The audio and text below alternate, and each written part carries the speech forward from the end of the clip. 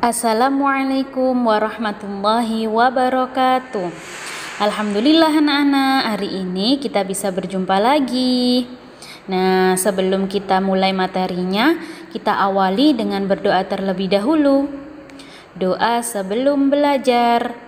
Bismillahirrahmanirrahim.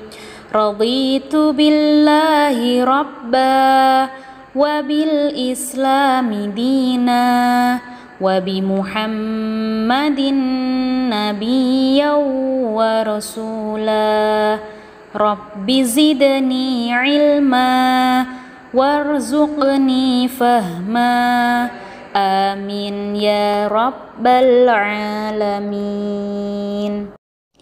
Kemarin kita sudah mempelajari apa itu kolkolah.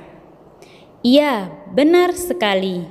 Kolkolah artinya memantul. Huruf kolkolah ada lima, yaitu dal, po, kof, ba, jim. Anak-anak, kolkolah dibagi menjadi dua yang pertama, kolkola suhro dan yang kedua, kolkola kubro. Nah, sekarang Ustazah akan jelaskan perbedaan kolkola suhro dan kolkola kubro.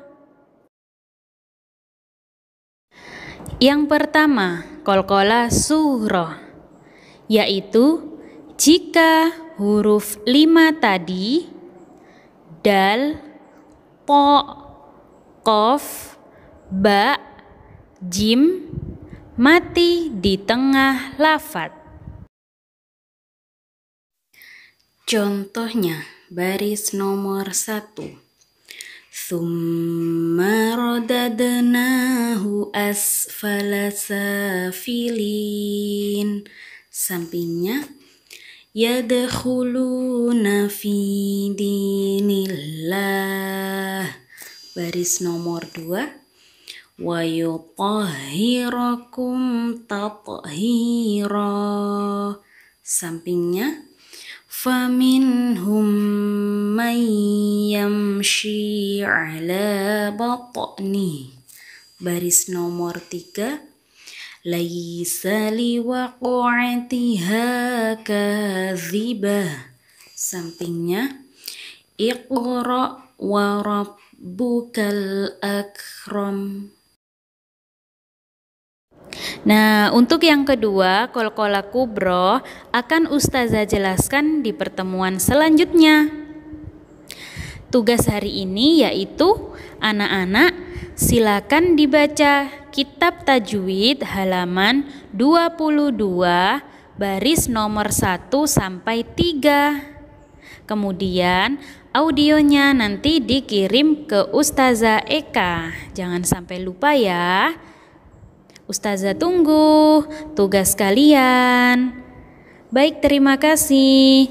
Dari sini kita akhiri dengan baca hamdalah dan doa kafaratul majlis. Alhamdulillahi Rabbil Alamin Subhanakallahumma wa bihamdik Ashhadu an la ilaha illa anta astaghfiruka wa atubu ilaik. Ustazah akhiri Wassalamualaikum warahmatullahi wabarakatuh